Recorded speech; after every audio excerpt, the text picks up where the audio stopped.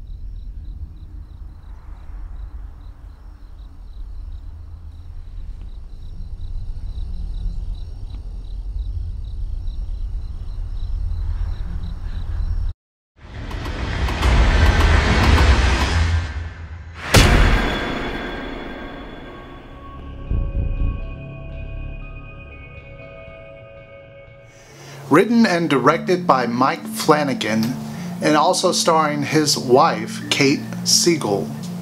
Now, you may know Mike Flanagan if you know the film Oculus. A lot of people like it, a lot of people don't. I kind of stand towards the side that does not like Oculus. Let's see, with Hush, you have a simplistic story about a woman who is deaf and muted and she lives in the woods all alone and is attacked by a creepy guy in a mask.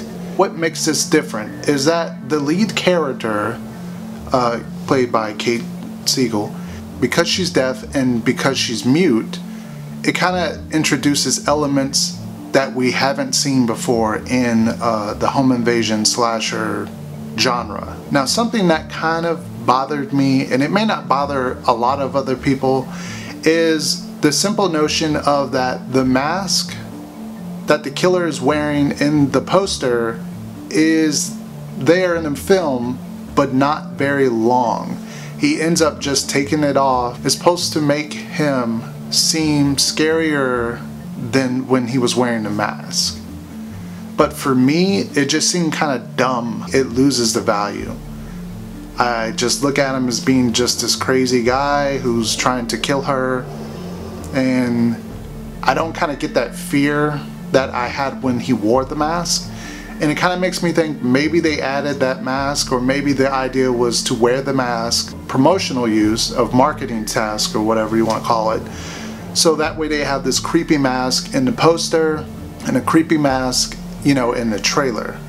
But the tension is there with the cat and mouse game that the killer plays with Maddie throughout the film.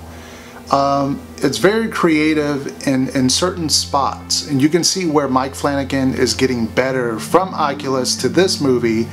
He's, he's getting there. He's not quite all the way there because this movie, while it is, you know, a decent slasher home invasion kind of film with uh, a little bit of a twist there about you know Maddie kind of having disabilities it's also kind of just standard I think is the word for it or average if you want to call it that. At times it dragged just a little bit but it's a solid effort by Mike Flanagan. I think he's definitely stepping it up. I think if you have Netflix this is easily worth a watch. If you don't have Netflix I wouldn't really recommend spending maybe, you know, $3 for this as a rental. Hush gets a 6 out of 10. Like I said, if they would have tightened it up, maybe in the middle, just added a little more thrilling effects, a few more kills, a little more, you know, violence, it would have been spot on and it would have probably hit a 8 or 9 on my scale. Anyway guys, that's it for this review on Hush. Let me know what you think down in the comment section if you have watched this or if you plan on watching it on Netflix. Make sure to give this video a thumbs up and please subscribe if you haven't already for more content like this. If you were stuck out in the woods with a killer outside, how would you get out of the house? How would you get out of this situation? Leave it down in the comment section. As always, thanks for watching and until next time, peace.